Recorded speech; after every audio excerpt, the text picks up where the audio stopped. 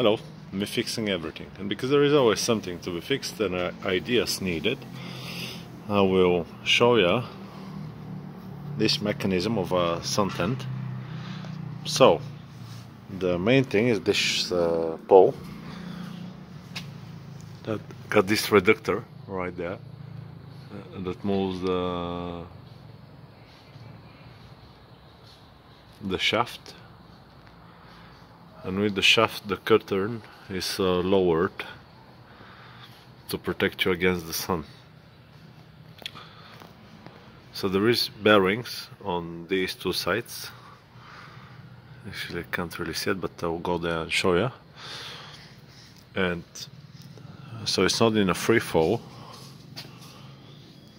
that's the mechanism on the outside.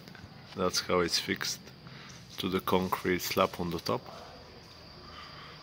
there is an echo and with the two bolts on the side the angle over the curtain is uh, adjusted echo in the middle. And I don't know how good you can see but right there there is a tensioning device with a chain so it's not in a free fall.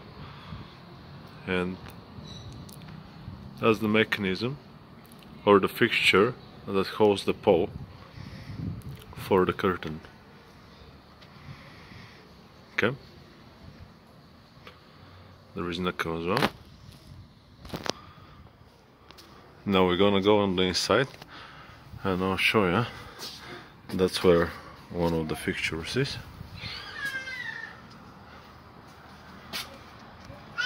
This is the bearing on the other side. Very simple right in the concrete.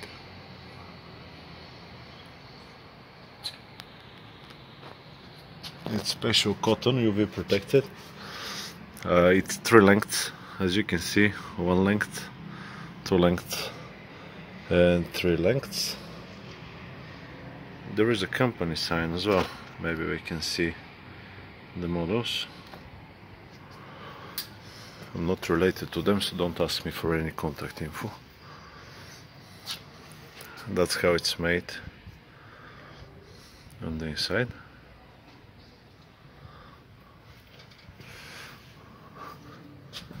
Let's have a look from this side as well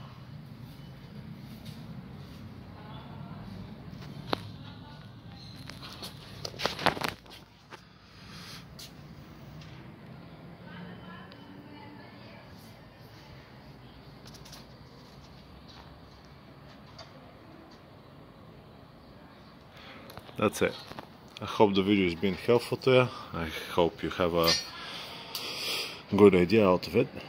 And uh, I'll see you on the next one. Bye bye